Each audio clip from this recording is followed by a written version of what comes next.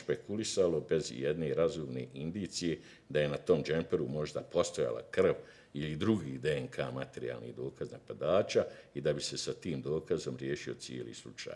Naime, forezničko ispitivanje je pokazalo da je krv pronađena na licu mjesta upoređena sa izuzetom krvi nastradalog Dženana Memića i optužene Alice Mutap pripadala upravo njima uz osustvo tragova krvi treće osobe.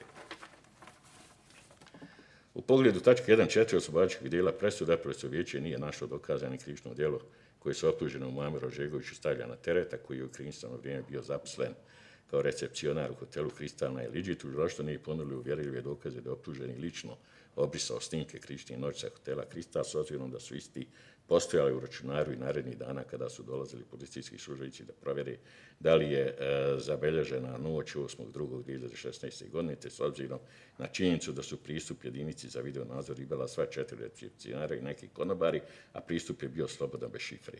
Stiker koji je napisao optuženi sa danom i vremenom je stajao na računaru i svi su mogli vidjeti o kojim minutama video nadzora se raspituje policija, kako policijski službenici nisu isti dan izuzeli navedeni video snimak, optuženi je po završetku smjene napustio radno mjesto. Dakle, osim kooperativnosti optuženog i omogućavanje policijskih službenica da radi svoj posao, optuženi nije imao druga zaduženja u pogledu obezbeđenja snimka video nadzora.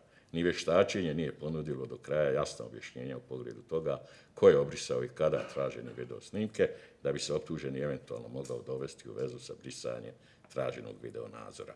Slijedom navedenog, aprovacijalno vijeće je optuženi Zijada Mutapa, Josipa Bača, Hasana Dupoca, ali su Ramić, rođenu Mutap i Luamera Ožegovića oslobodilo od optužbe za naprijed navedena naprijed navedene radnje. S obzirom da tužilaštvo nije dokazalo sve pravno relevantne činjenice kako bi ovo vijeće van razumne sumnje utvrdilo njihovu odgovornost za krivična djela koja, im, koja su im stavljena na teret predmetnom e, optužnicom. Ovo je bilo kratko obrazloženje odluke.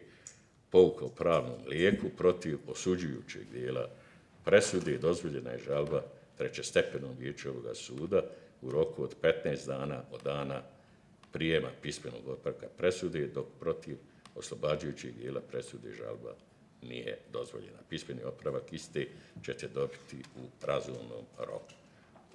ovim je javno objavljivanje presude završeno. Doviđenja. Molim, ustanite.